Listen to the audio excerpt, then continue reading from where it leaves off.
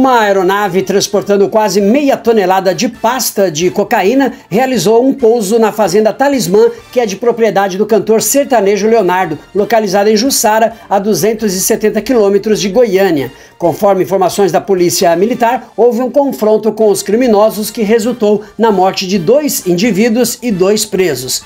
A equipe de assessoria de Leonardo esclareceu que o artista está atualmente em São Paulo. Não havia nenhum membro da família na residência. A movimentação suspeita foi percebida por funcionários que prontamente acionaram a Polícia Militar. O Instituto Médico Legal também foi acionado para fazer a remoção dos corpos e realizar a necrópsia. Conforme autoridades policiais, logo após o pouso da aeronave na fazenda, uma caminhonete estava posicionada para realizar a coleta da droga. A Polícia Militar e a Polícia Rodoviária Federal iniciaram uma busca pelo veículo que foi localizado na BR-70. Uma perseguição na rodovia teve início, seguida por um confronto com os ocupantes do carro. Segundo informações da PM, a troca de tiros foi intensa durante o incidente. A Polícia Federal, que também participa das investigações, ainda não confirmou a quantidade exata da droga transportada pela aeronave. A assessoria do cantor assegurou que a aeronave conseguiu decolar e deixar a fazenda.